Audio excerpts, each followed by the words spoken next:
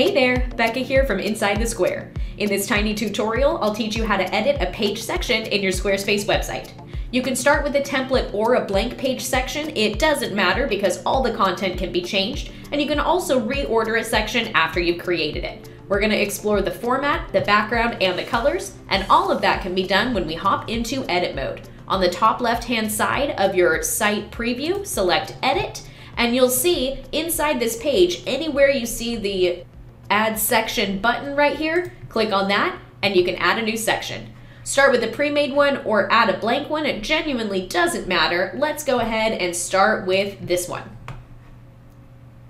From here, we can reorder our sections. Let's say we want this at the bottom. I can keep clicking this down arrow until it's underneath all of the other sections on that page, or move it back up.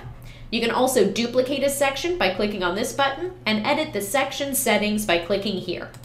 If I select that option, I can change the height, making it small, medium, large, or a custom height, where I can drag the slider to the left or right to adjust it or enter a number. I can do the same with width, small, medium, and large, and here I can drag this as well to change the width of the page. Here we can adjust the alignment, top, middle, bottom, left, center, or right. And then here on this next option, we can change the background. You can either delete this image or replace it, or upload a video from a YouTube or Vimeo link. And here you can also change this to be full bleed, where it reaches all the way to the edges of the page section, or inset. Adjusting this slider will adjust the opacity of the color overlay. And speaking of colors, let's navigate over to the colors section.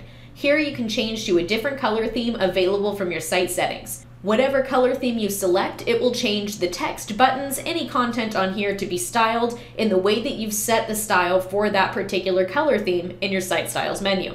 Let's click out of here. I'll show you how we got there one more time. You can add a section by clicking on that option wherever it pops up. Pick any pre-made section that you'd like or add a blank one. And after you've added the section, use these arrows to reorder them on your site moving them up or down in relation to other page sections. You can duplicate the section or click this icon right here to edit the section. You can change the height to small, medium, large, or something specific. You can change the width to small, medium, large, or again, something specific. And here you can adjust the alignment to the top, middle, bottom, left, center, or right. And if you navigate to background, this is where you can upload an image change it to full bleed or inset, or link to a video on Vimeo or YouTube. You have a lot of other options for video there, so definitely explore those if that's the way you're going.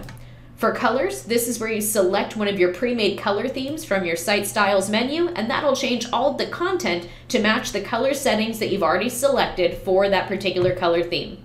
When you're all done, select save and you'll be good to go. For more tiny tutorials like this one, visit InsideTheSquare.co.